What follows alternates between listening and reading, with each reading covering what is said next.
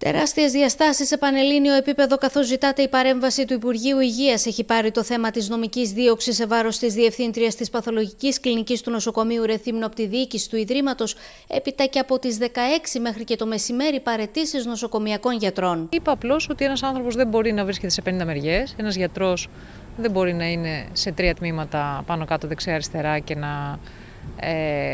αυτό είναι ενάντια στην ασφάλεια των ασθενών και αυτό ε, η, η ιατρική μου ε, ηθική ε, δεν το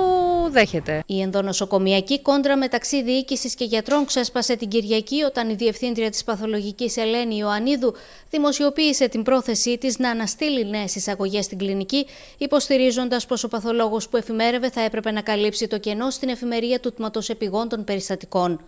Ωστόσο, την πρόθεση της κυρίας Ιωαννίδου πρόλαβε το εντέλεστε που έλαβε από τη διοίκηση, με συνέπεια να πέφτουν έκτοτε βροχή οι παρετήσεις των νοσοκομιακών γιατρών. Δεν μπορώ να δεχτώ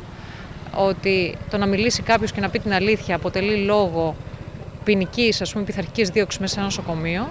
καταρχήν. Και δεύτερον, δεν πήρα ακόμα καμία απάντηση για το πώς θα λυθεί το πρόβλημα της παθολογικής. Και ενώ μέχρι στιγμή στηρείται σιγή ηχθείως από τη διοίκηση για το εάν θα γίνουν αποδεκτές οι παρετήσεις ή όχι, καθώς και για το εάν θα τρέξει η προκαταρκτική έρευνα για τη διερεύνηση των όσων ανέφερε στην επιστολή της η Ελένη Ιωαννίδου, το μεσημέρι, με γραπτή της ανακοίνωση, η Ομοσπονδία Ενώσεων Νοσοκομιακών Γιατρών Ελλάδας απαιτεί την άμεση παρέμβαση της διοίκησης της 7η Υγειονομικής Περιφέρειας και της πολιτικής ηγεσίας του Υπουργείου Υγείας. Απαιτούμε να σταματήσει άμεσα οποιαδήποτε πειθαρχική διαδικασία σε βάρος της συναδέλφου και να βρεθεί επιγόντως λύση για τις τραγικές ελλείψεις του ιατρικού προσωπικού που οδηγούν το νοσοκομείο σε λειτουργική κατάρρευση, επισημαίνει μεταξύ άλλων η Ομοσπονδία, που κάνει λόγο για απειλές, εκβιασμούς και πειθαρχικές διώξεις που καλά κρατούν στο χώρο του ΕΣΥ. Άμεση ήταν επίσης η αντίδραση και του πρώην Υπουργού Υγείας και βουλευτή Ρεθύμνου του ΣΥΡΙΖΑ Ανδρέα Ξανθού, ο οποίος με γραπτή του ανακοίνωση ζητά να σταματήσει τώρα, όπως λέει αυτή η επίδειξη αυταρχισμού από τη διοίκηση του νοσοκομείου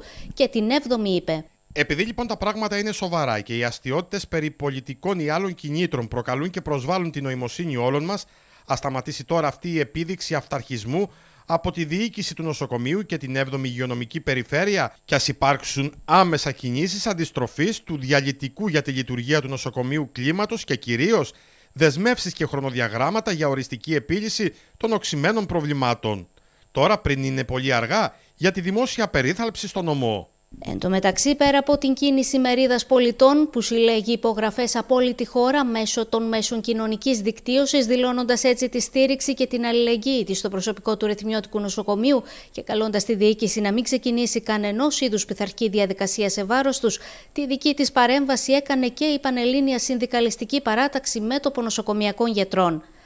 Η παράταξη σε ανακοίνωσή της επισημαίνει χαρακτηριστικά πως το θέμα δεν είναι να ξαπλώσει ο ασθενής ένα κρεβάτι, αλλά να υπάρχει και γιατρός να το φροντίζει. Ενώ αυτό που ζητά είναι να μην διανοηθεί, όπως αναφέρει, να διαλύσει το νοσοκομείο πυροδοτώντας καταστροφικές εξελίξεις εν μέσω πανδημίας η διοίκηση.